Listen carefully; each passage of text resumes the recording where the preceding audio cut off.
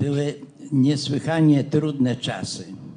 W każdym bądź razie stanowiły one dla mnie jakiś impuls, żeby właśnie działać tutaj na terenie Nowej Huty. Kto na te imprezy uczęszczał? Kto to był odbiorcą tej kultury, którą y, Państwo animowali, tworzyli tutaj w Nowej Hucie? To może zdumiewać, że prości ludzie, młodzi też, bez powiedzmy jakiegoś przygotowania, a jednak tak właśnie chłonęli muzykę jazzową. Przecież nie jest to muzyka taka komunikatywna. Ja osobiście, nie wiem, może miałem wyjątkowe szczęście, nie miałem żadnych problemów z upowszechnianiem jazzu. ZMS, prawda, Ognisko Młodych, że tak powiem pozornie, sprzeczność. Nic podobnego. Jazz tam rozkwitał, mało tego, cała czołówka jazzowa polska, dzisiaj giganci jazzu, właśnie produkowali się w jazz klubie nowochódzkim, w tym socjalistycznym mieście. Był taki wieczór, podczas którego wystąpił Stańko, Karolak, Perermuter, Makowicz i y, Gucio Dylong. A tam y, o, ostatnie to jest ważna postać Lelito, bo on wszystkie malunki w jazz klubie właśnie dokonywał i to stanowiło taki znakomity sztafaż, który tworzył taką atmosferę iście jazzową.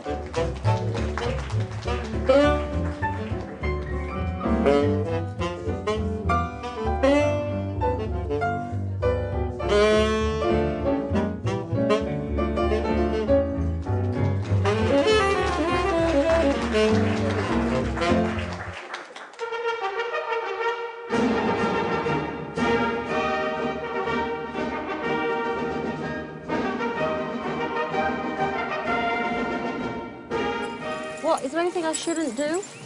Pani nie powinna czegoś robić? Nie, nie, no idź do przodu. Just walk.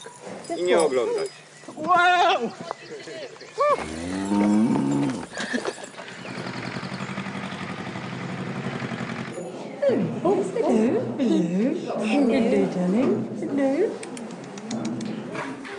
The farmer and the, his wife wanted to give us uh, an experience of the farm, so we milked the cow.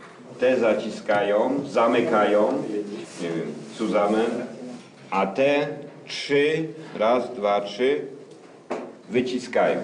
How you doing? Well, not not too good. Oh, ah,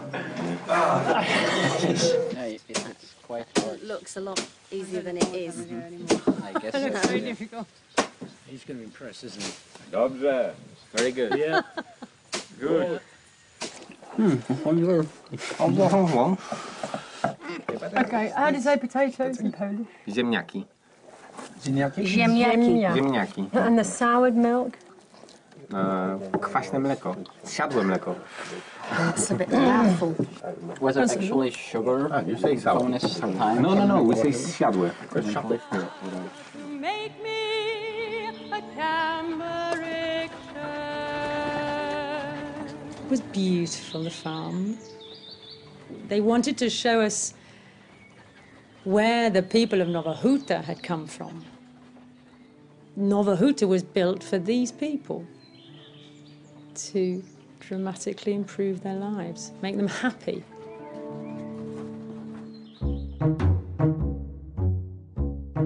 Zamieszkał pan y, na osiedlu stalowym w 56 roku. W 56 miałem do wyboru różne punkty y, w Krakowie, a ja Hutę wybrałem dlatego, że tu są ludzie ze wsi. Ja byłem w zarządzie Związku Plastyków. Myśmy zaproponowali tutaj budowę pracowni w Nowej Hucie.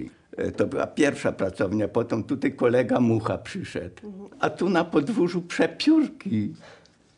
Tu było tyle zieleni, nie było budynków jeszcze. Tu przepiórki się odzywały, które ja tak dobrze znam ze wsi. Jest pan y, przede wszystkim rzeźbiarzem i malarzem. Interesuje się pan zarówno fizyką, astrologią. Jak łączy pan te różne dziedziny? Jak ja łączę, to znaczy ja ich nie łączę, one są we mnie, te zainteresowania. Druga rzecz, pojechałem do Paryża w 56 roku. Na stypendium Na stypendium, tak. Mhm. I, ja się przekonałem, że my jesteśmy zapóźnieni za, to, za tym murem. To była nasza pierwsza polska wycieczka do Paryża. To, to w, w grudniu, w Wigilię startowaliśmy z Warszawy. No to jak ja tam to zobaczyłem, to sobie myślę, no to trzeba nadrabiać.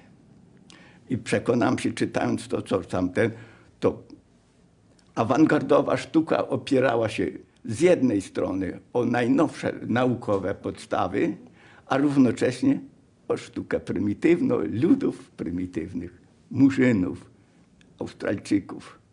I, i, I mnie to po prostu w jakiś sposób zaczęło się wszystko wiązać. Jak się panu mieszka w Nowej Hucie? Bardzo dobrze.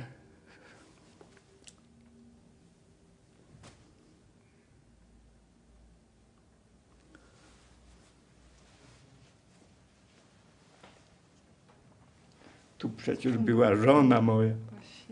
Życie się tak strasznie kręci, jak ta śliwka po prostu. To są rysy tych napięć e, człowieka, jak i drzewa, które żyło w takim kącie pomiędzy płotem a ścianą i, i sz- szukało światła, szukało słońca, szukało życia i powietrza, ale i szukało gwiazd tak samo.